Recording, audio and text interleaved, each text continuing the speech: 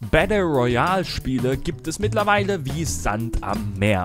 Umso interessanter ist es, wenn ein Spiel versucht, dem Genre seinen eigenen Stempel aufzudrücken, um so für mehr Abwechslung zu sorgen. Spellbreak möchte sich eben dieser genannten Aufgabe annehmen und mixt die bekannten Battle Royale Elemente mit einem verspielten Look und jeder Menge Zauberei.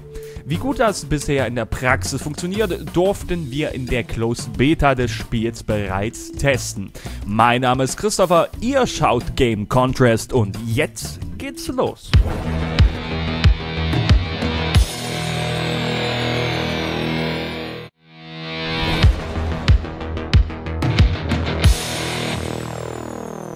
Als erstes sei erwähnt, dass die Closed Beta natürlich nicht den finalen Stand des Spiels widerspiegelt und sich bis zum endgültigen Release natürlich noch sehr viel ändern und verbessern kann.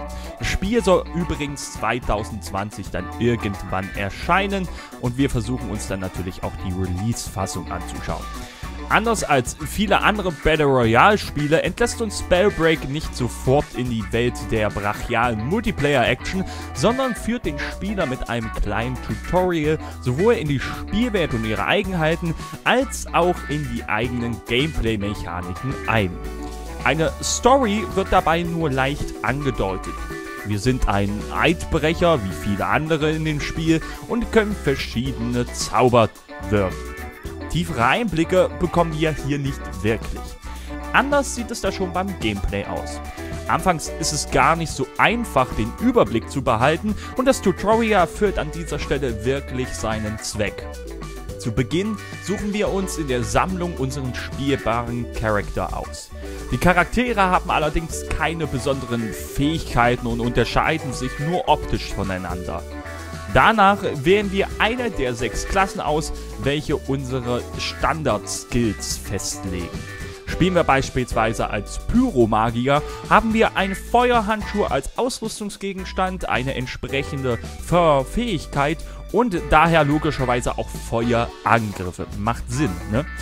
Allerdings können wir einen weiteren Handschuh finden, welcher aus einem anderen Element besteht. So können wir gleichzeitig einen Feuerhandschuh und einen Eishandschuh tragen und beide Angriffstypen sogar miteinander kombinieren. Dabei kann es zu sehr nützlichen Effekten kommen. Zünden wir beispielsweise eine Giftwolke mit unserem Feuerzauber an, so kommt es zu einer großen Explosion, welche wiederum mehr Schaden bei Gegnern verursacht. Die Handschuhe sind allerdings nicht die einzige Angriffsmöglichkeit. Auf der Map finden wir Runen, welche uns einen ja ganz speziellen Angriff verleihen. Welchen Spezialangriff wir bekommen, hängt davon ab, welche Rune wir eben aufnehmen. Somit baut das Spiel in seinem Gameplay auf einem sehr soliden Gerüst auf. Hat man das grundlegende Prinzip verstanden, kann es etwas mehr in die Tiefe gehen. Wir konnten während der Closed Beta nur einzeln oder mit einem anderen Mitspieler eine Partie starten. Der Teammodus war leider nicht auswählbar. Ist man dann erstmal im Spiel, hat man genügend Zeit, sich in der Lobby umzusehen und schon mal mit verschiedenen Waffen auf der Map zu experimentieren.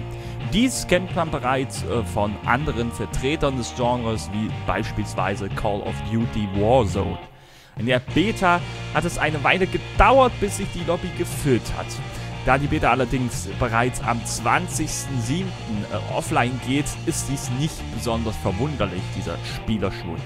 Ärgerlich war es allerdings trotzdem, da man manchmal doch recht lange auf neue Mitspieler warten musste. Während der Testphase waren durchschnittlich sieben Spieler gleichzeitig in einer Partie. Ist die Lobby voll, kann der Spaß allerdings endlich losgehen. Wir wählen uns einen Punkt auf der Karte aus und erreichen die Stelle über eine Art Teleportsprung aus der Luft. Sind wir gelandet, so gilt es, die Gegend auszukundschaften und nach Ausrüstungsgegenständen zu suchen, die uns den Überlebenskampf gegen die anderen Spieler erleichtern. Wir beginnen die Runde nur mit unserem Standardhandschuh und der Standardfähigkeit und alle anderen Gegenstände und Runen müssen wir selbst finden und auf Lootglück hoffen, denn nicht jeder Gegenstand ist gleich. Die Ausrüstung wird in verschiedene Seltenheitsgrade unterteilt und so gibt es auch in diesem Spiel gewöhnliche Ausrüstung oder legendäre Gegenstände und so weiter und so fort, die natürlich höhere Werte haben. Wir sollten also immer versuchen, gut ausgerüstet zu sein, um den Feind dann im direkten Duell bezwingen zu können. Spellbreak sticht hier vor allem durch das flotte Movement und seine einzigartigen Zaubereffekte heraus. Ja? Im Vergleich zu anderen Battle Royale Spielen, wo man eher etwas taktischer und ruhiger spielt, kann man hier auch ruhig mal in die Offensive wechseln. Dieses Battle Royale Spiel fühlt sich erfrischend anders an.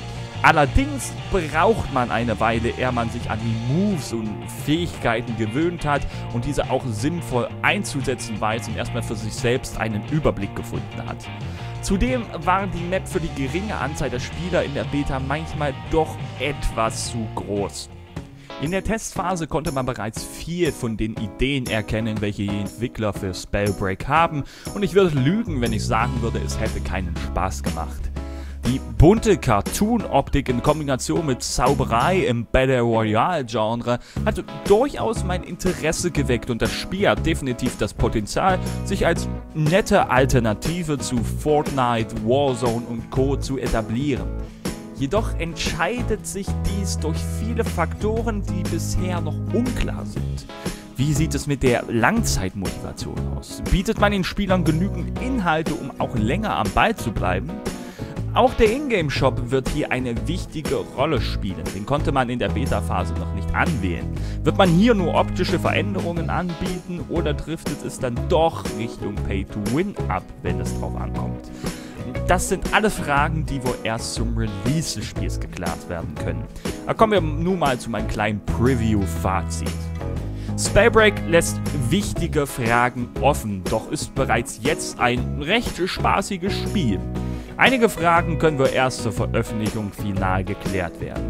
Bis dahin lohnt es sich allerdings, Spellbreak zumindest im Auge zu behalten, sofern man mit allen anderen Battle Royale Spielen bisher nicht warm geworden ist. Sollte man seinen Liebling allerdings schon gefunden haben, wird Spellbreak wohl eher niemanden davon überzeugen zu wechseln. So ehrlich muss man an dieser Stelle dann doch sein.